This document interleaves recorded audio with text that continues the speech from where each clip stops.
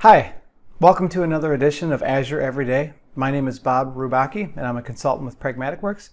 And today I'd like to talk about the data glossary that's available within the Azure Data Catalog. Now, if you're just getting started with the Azure Data Catalog, the terms glossary and catalog might get interchanged, and so I just want to talk about that a little bit. The data glossary is a feature of the catalog, so you don't need to use the glossary to get started with the catalog. In fact, the best way to get started with the catalog is by registering some data sets, some data assets in your catalog. And then you can use the data glossary to put some definition around terms that can be used as tags.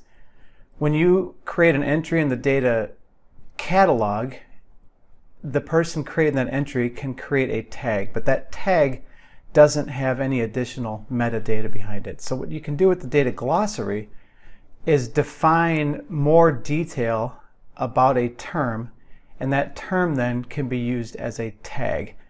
And so now if you add an asset to your data catalog and you tag it with a glossary term, then people who are viewing the catalog, when they hover over that tag, will get a tooltip with a lot of metadata uh, and business definition that's been input by maybe a subject matter expert within your organization.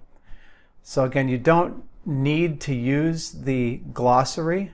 Uh, in fact, it's not available in the free version of the catalog. That's something that's available in the pay standard version but it is a really nice way to, to put more context um, around your data for your catalog users. And so just wanted to uh, do a quick one here, just again, describing the, the difference, if you will, between the glossary and the catalog. Uh, I hope this is helpful. Thanks for watching. If you have any questions about the Azure Data Catalog, uh, data architecture in Azure, please reach out to us and let us know. Thank you. Have a good day.